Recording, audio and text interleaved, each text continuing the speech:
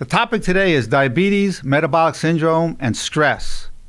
What your doctor never told you.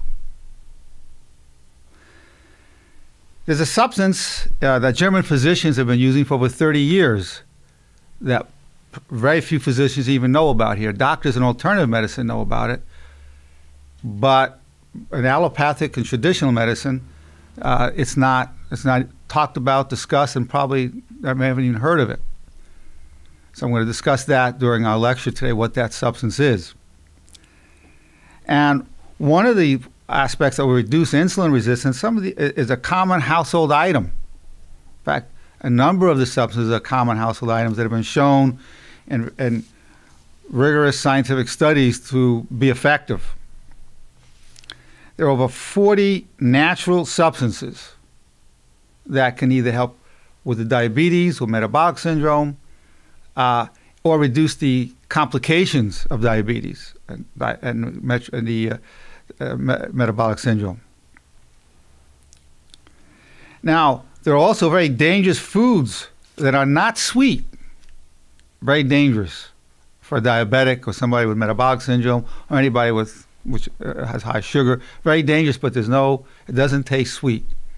We're going to discuss what are these dangerous foods. Again, there'll be foods that most doctors never told you about unless they're educated in alternative medicine as well as allopathic medicine.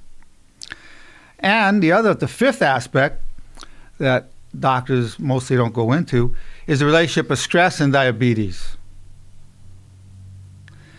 Now, we need to keep in mind, we talk about diabetes, we have to understand the interrelationship of all the bodily systems. So, very often with diabetes, there's cardiovascular disease. Uh, the immune system is also compromised. We're prone to various illnesses.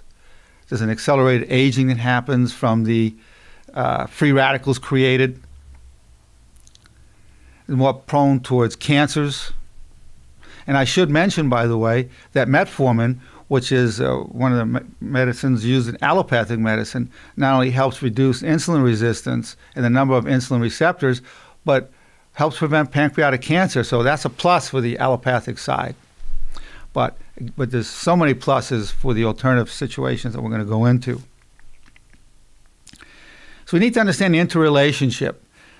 Many people with diabetes will have high cholesterol, high triglycerides, and they'll have abdominal fat. They'll have fat cells really built around the abdominal area, which is the dangerous area. Particularly for a man, if the waist reaches 40 inches, that's a real danger sign. Because the fat cells are extremely dangerous. They release fatty acids and produce certain types of proteins that actually uh, raise insulin resistance. So we're going to go into what the dynamics of that, what that is. But we need to keep in mind the interdependence of all the bodily systems. It's known that most people don't die of diabetes, they die of a complication, typically a heart attack or stroke. That's another illustration of the interdependence. Now, we're going to talk about stress. Uh, in my background as a psychologist is in the area of the mind and thoughts and stress and so forth. So, this area I have more expertise. Now, when we look at causes of stress, we need to understand that a diagnosis itself can cause stress. A person says, Well, you have cancer, or you have cardiovascular disease, or you have diabetes. The diagnosis itself, a person says, well, I'm, I'm a diabetic. Uh, I, you know, I, I, I'm, once a person starts labeling himself, it's that can, that can produce stress. Of course, life in itself will deal with stresses in terms of relationships, marriage, finances, the injustices, such as injustices in the workplace and just the injustices that go on throughout the world. There are many forms of stressors that deleteriously affect our immune system, weaken the immune system, but also are very damaging in terms of diabetes.